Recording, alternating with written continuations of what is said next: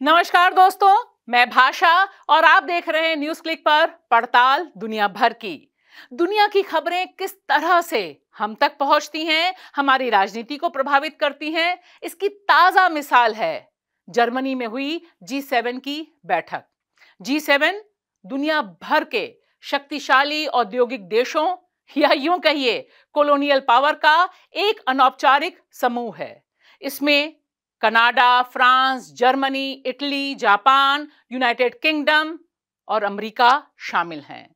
European Union के प्रतिनिधि भी इसमें शिरकत करते हैं। जर्मनी इसकी अध्यक्ष है।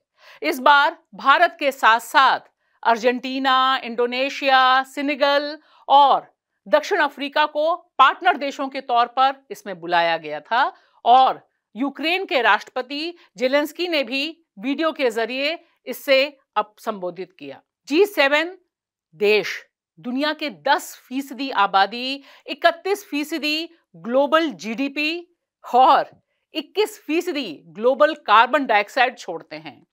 चीन और भारत दुनिया के सबसे आबादी वाले देश हैं और वे जी सेवन से बाहर हैं। जी सेवन ग्लोबल ट्रेड में भी बहुत अहम भूमिका अदा करता है। अब आइए देखते हैं कि प्रधानमंत्री नरेंद्र मोदी यहाँ पर पार्टनर देश के तौर पर गए थे। शिरकत की थी उन्होंने, लेकिन मज़ेदार बात है कि जो पूरा प्रचार तंत्र सक्रिय हुआ, जिस तरह की खबरें भारत में आई, उससे देखकर बहुत से लोगों को ऐसा लगा कि भारत जो मेन बैठक है जी सेवन की, उसमें शिरकत कर रहा था। जबकि मुख्य बैठक से भारत का कोई वास्ता नहीं था दूर दूर तक। लेकिन प्रचार तंत्र तो प्रचार तंत्र है। स्वागत में जुटे लोग। जिस तरह के वीडियोस आए, जिस तरह से उनका प्रचार प्रसार हुआ, वह तो लोगों तक पहुँचा। लेकिन वहीं पर जो लोग मोदी जी के विरोध में भी जुटे थे, सड़कों पर उतरे थे, वह हम तक, आप तक नहीं पहुँचे। दोनों ही फ़ोटोज़ आप स्क्रीन पर देख रहे हैं।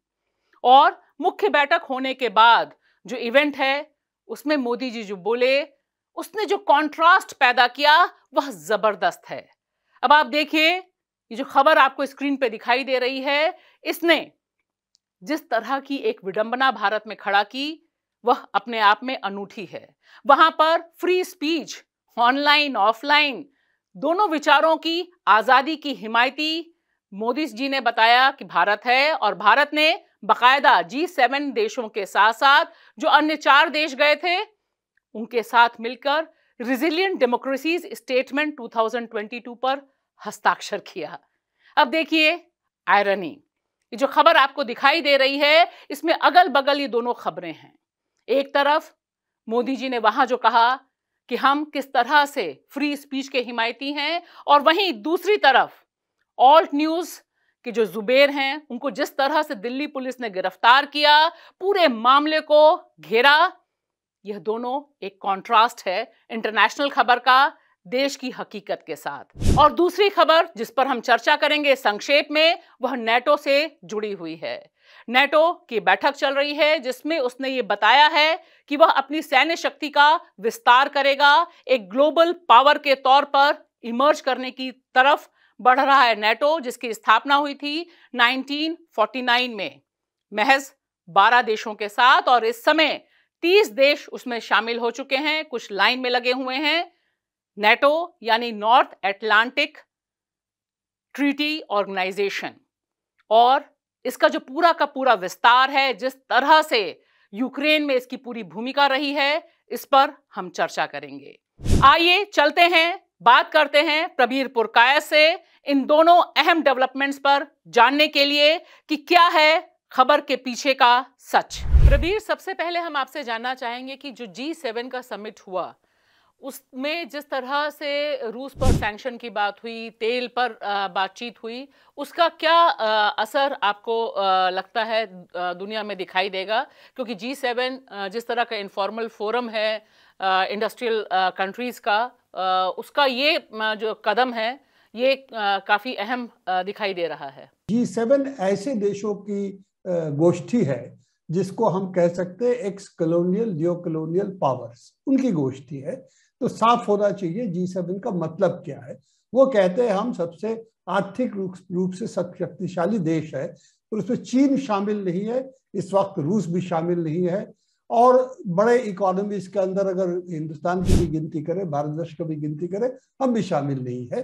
तो ये देखते हुए इस एक्स कॉलोनियल पावर्स में मैं जापान को भी शामिल करता हूँ। तो ये जी सेवन जो है क्लब ऑफ़ द रिच कह सकते हैं। अमीर देशों की क्लब है। और जो डिसाइड करना चाहते हैं, दुनिया के बारे में क्या होगा, नहीं होगा, हम आपको बताएँगे। तो ये एक, इसका एक न्यू कलोनियल ढांचा बहुत सालों से है और अभी भी बरकरार है। उनका जो डिसीशंस हुए हैं, उसमें तो एक डिसीशन था कि एनर्जी को लेके कि एनर्जी ट्रांसिशन करना है क्लाइमेट चेंज को देखते हुए पर उन्होंने जोड़ जो जोड़ दिया है वो इस पर साफ़ है कि वो कोयला फिर इस्तेमाल करने वाले हैं क्योंकि तेल की संकट इस वक्त है गैस की संकट है खास तौर से रूस के साथ जिनका जो यूक्रेन को लेके जो विवाद या जंग कह सकते हैं चल रहा है उसमें रूस और, और का ऑयल और रूस का गैस अगर एनर्जी से निकल जाता है तो उनको फिर कोयला पे जाना पड़ेगा।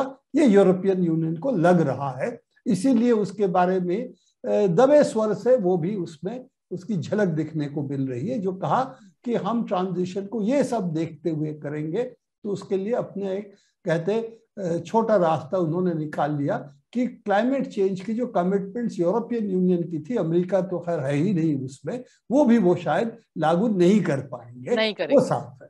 तो यूक्रेन के जंग में उन्होंने दो चीज़ कही। एक तो कहा कि हम यूक्रेन को पैसा देंगे उनकी जंग चलाने के लिए।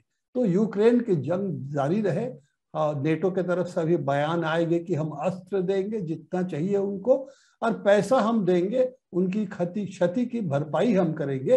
अब लड़ते रहिए रूस के साथ ताकि रशिया को हम कमज़ोर कर पाए। ये जो उनकी सम, समझ है पूरी रणनीति है।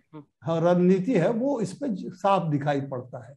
दूसरी बात उन्होंने कहा फिर जब ने बहुत दिन से ज़िक्र कर रहे हैं कि सैंक्शन की जो राजनीति है उनकी जो उन्होंने पैसे पर उनकी फाइनेंस पे सैंक्शन लगाया स्विफ्ट सिस्टम से निकाल दिया उनकी जितने पैसे उनके यूरोपियन यूनियन की बैंक्स में यूनाइटेड किंगडम के पास या अमेरिकन बैंक्स में थे उसको जब्त कर लिया। ये सब करने के बाद तेल पर सैंक्शन दूसरे चीज़ों पर सैंक्शन जो शुरू किया, उसके ऊपर उनकी भारी नुकसान भी हो रही है, क्योंकि जब तेल खरीद रहे हैं, खासतौर से यूरोपियन यूनियन, अमेरिका भी कुछ तेल खरीद रहा है तो ये तेल की दाम काफ़ी बढ़ गई है। पहले जब जंग शुरू होने के पहले अगर साठ, पैंसठ, सत्तर डॉलर था ब्रेड क्रूड की एक बैरल की कीमत, इस वक्त 120 की लगभग करीब दुगुना हो चुका है गैस तो तिगुना चौगुना हो चुका है यूरोपियन यूनियन में। अब यूरोपियन यूनियन को ये कहना पड़ रहा है नहीं नहीं हम गैस लेंगे पर हम जो है दाम इसका आपको यूरो में देंगे रूबल में नहीं देंगे। रूस इसके साथ साथ धीरे धीरे कम करना शुरू किया है तो जितना पैसा मिलेगा उतना देगा और दाम जो है उसका बढ़ेगा तो इस पर कोई दो राय नहीं है। दूसरी सैंक्शन तेल पे जो लगाया है, तेल का सैंक्शंस में एक अनोखी बात इन्होंने कहना शुरू की कि हम निर्धारित करेंगे मैक्सिमम प्राइस इसका क्या होगा। देखिए, जब खरीदार होता है, बेचने वाला होता है, दोनों की सहमति से दाम तय होती है। अगर आप खरीदना चाहते हो एक दाम में, मैं आपको उस दाम में नहीं बेचूँगा तो मैं नहीं बेचूँगा। तो ये कहना नहीं, आपको हमारे दाम में देना ही पड़ेगा। तो ये तो एक तरह से ज़ोर ज़बरदस्ती ज़बरदस्ती नहीं ये तो एक तरफ़ से क्या कहेंगे डंडा डकैती जो भी कहना चाहेंगे। तो ये तो ये तो अंतरराष्ट्रीय स्तर पे इसमें ट्रेड नहीं होता। एक तरफा हम बताएँगे इसका दर क्या होगा। हो सकता है एक जमाना था आप कह सकते थे वो जमाना भी ओपेक का वक्त पे पचास साल पहले ही खत्म हो गया था। तो आज उसको फिर आके रूस को कहना कि हम आपको बताएँगे किस दाम पे हम खरीदेंगे आपको उसी दाम पे बेचना पड़ेगा ये तो चलने वाला नहीं है। और तीसरी बात कहा कि हम गोल्ड जो है उसको हम एक्सपोर्ट नहीं कर दे देंगे रूस से हमारे पास। तो रूस में इस पर कोई नुकसान नहीं है। इस वक्त रूस को जो है सरप्लस हो रहा है उसका पैसा पहले जितना मिलता था उससे काफ़ी ज़्यादा मिला है कि दाम चीज़ों की बढ़ गई है खासतौर से जो हम्म। रूस एक्सपोर्ट करता है तेल गैस कोयला। तो ये जो चीज़ें है ये लगता है सैंक्शंस के ऊपर जो इन्होंने जी सेवन की डिसीशंस हुए हैं वो अजीब व गरीब है जो इकोनॉमिक फाइनेंशियल एनालिस्ट कह रहे हैं।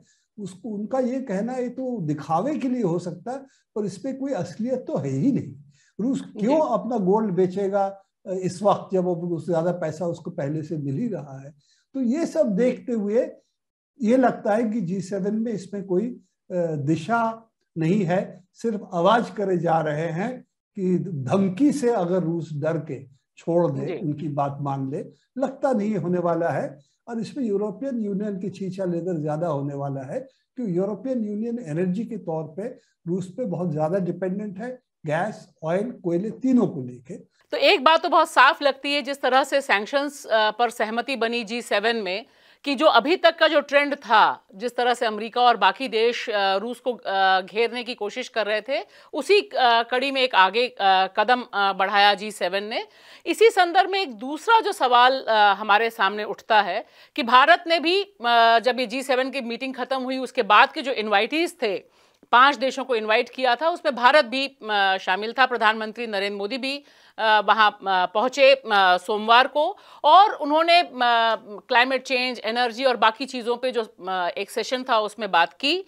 यहाँ पर मैं जो आपसे जानना चाहूँगी कि एक तरफ़ भारत भारत के प्रधानमंत्री यहाँ जाते हैं क्वाड में जाते हैं, इसके अलावा जो वेस्ट एशिया को लेकर दूसरे ढंग की एक मीटिंग हो रही है, उसमें जाते हैं जाने की बातचीत है रूस के संदर्भ में भी उन्होंने कम से कम जो अभी अमेरिका और वेस्टर्न दुनिया का स्टैंड है, उसमें वहाँ पर उस खेमे के साथ वो अलाइन नहीं दिखाई देते।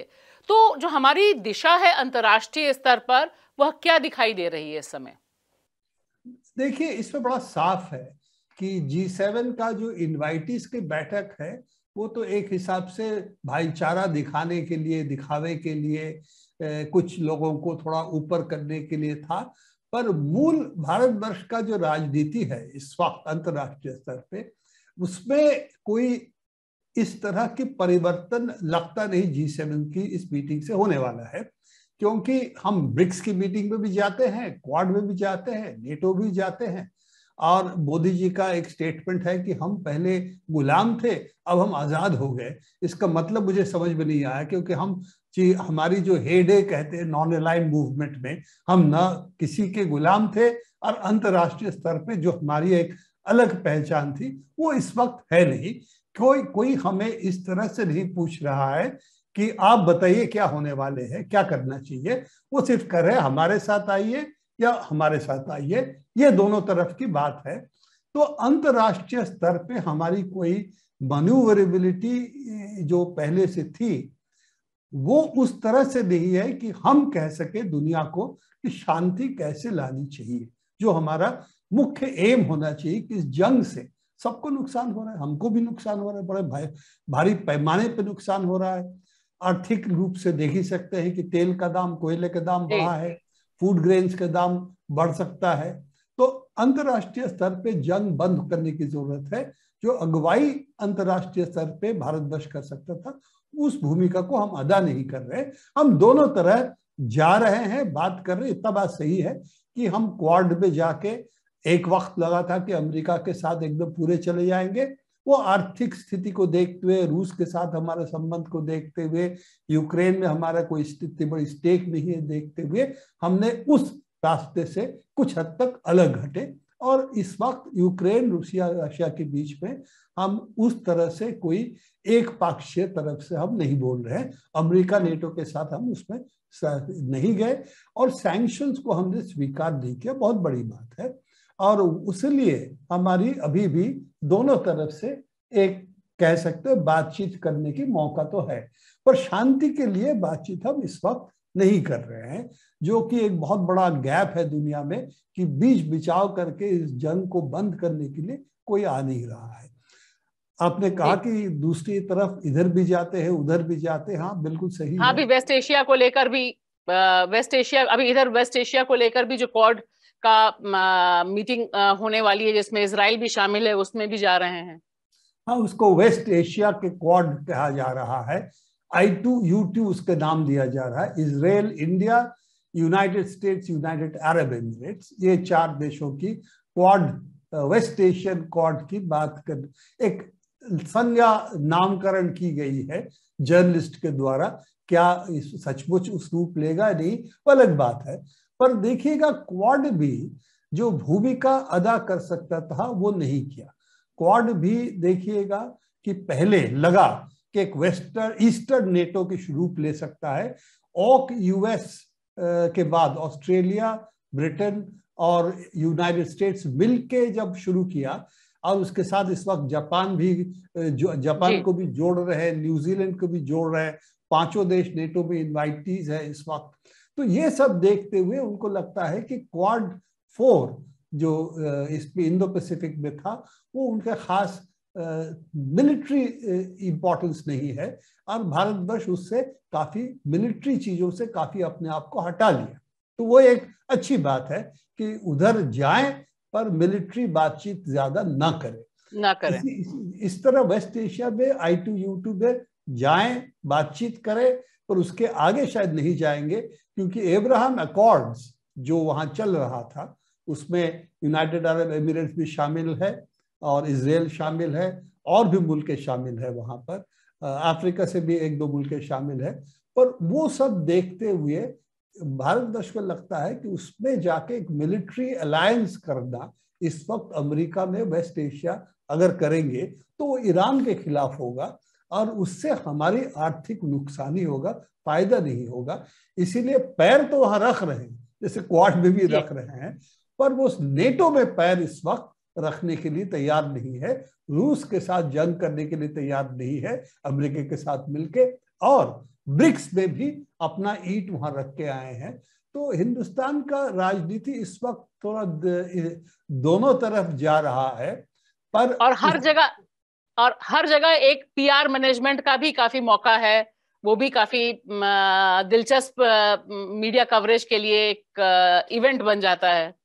प्रवीर नेटो की बात हम लगातार कर रहे हैं। नेटो ने एक बहुत बात जो स्पष्ट की है कि वह मिलिट्री एक्सपेंशन की तरफ़ जा रहा है। उसके जो ट्रुप्स हैं, उसमें आठ गुना की वृद्धि की बातचीत है। यह सब कुछ यूक्रेन में जो युद्ध चल रहा है, जो तनाव की स्थिति, उसके मद्देनजर ये सारा एक्सपेंशन होता हमें दिखाई दे रहा है। यह कितना बड़ा खतरा विश्व शांति के लिए रहेगा? देखिए नेटो का जो है कि ट्रूप्स की बढ़ोतरी की जो बात करें इंटरवेंशन बाहर इंटरवीन करने के लिए, मेरे ख्याल से सबसे अहम चीज़ जो इस बैठक में है कि नेटो के साथ उन्होंने जिन देशों को आमंत्रण किया नेटो नॉर्थ अटलांटिक जियोग्राफिक रूप में, वो North Atlantic Europe North America के बीच में था, उसको इंटरनेशनलाइज कर रहे हैं। ऑस्ट्रेलिया न्यूजीलैंड इनको बुलाया है जापान को बुलाया है। तो साफ़ है कि नेटो को दृष्टि एक अंतरराष्ट्रीय स्तर पे वर्ल्ड वाइड एक मिलिट्री पैक्ट बनाना। तो ये एक परिवर्तन है, देखना पड़ेगा इसका असर क्या पड़ता है, क्योंकि नेटो का भी अनाउंसमेंट शुरू ही हुआ है, अभी खत्म नहीं हुआ उनका बैठक। पर एक चीज़ उसको नज़र रखना चाहिए इस पर कि अभी अमेरिका सिर्फ़ एक देश, दुनिया की और उसके नेक्स्ट नौ देशों से ज़्यादा उसकी मिलिट्री बजट है। तो ये, या दस देशों से ज़्यादा उसकी मिलिट्री बजट है, एक देश। और रूस तो उस पर स्थान, दस पे स्थान भी नहीं लेता, वो तो बारहवा, तेरहवा स्थान पे तो उसका अगर देखे तो मिलिटरली इस वक्त ये कह सकते हैं कि नेटो देश और उनकी जो एलाइज है, उनका मिलिट्री बजट रूस या चीन से करीब 10 से 15 गुना ज़्यादा होगा। तो ये देखते हुए दुनिया की जो हम बात कर रहे हैं नेटो इस वक्त जिस दिशा में जा रहा है, लगता है न्यू कोल्ड वॉर का एक पक्ष एकदम साफ़ हो रहा है और नेटो उसमें कॉर्नर स्टोन बनेगा, उसका एक नींव बनेगा, ये देखने को मिल रहा है। दोस्तों, ये दो अहम डेवलपमेंट जो ग्लोबल मैप पर हुए हैं, अंतरराष्ट्रीय मानचित्र पे हुए हैं, ये साफ़ कर रहे हैं कि दुनिया को शांति की तरफ़ बढ़ाने वाली ताकतें मुखर नहीं हैं। जो देश ताकतवर हैं, जो कर सकते हैं, वे लगातार युद्ध फैलाने, युद्ध का विस्तार करने की तरफ़ बढ़ रहे हैं और यह निश्चित तौर पर आपके लिए, हमारे लिए, पूरी दुनिया के लिए अच्छी खबर नहीं है। आपसे गुजारिश है कि पैनी नज़र के साथ दुनिया भर की खबरों को टटोलने के लिए देखिए, लाइक करिए, शेयर करिए, पड़ताल दुनिया भर की, न्यूज़ क्लिक। शुक्रिया।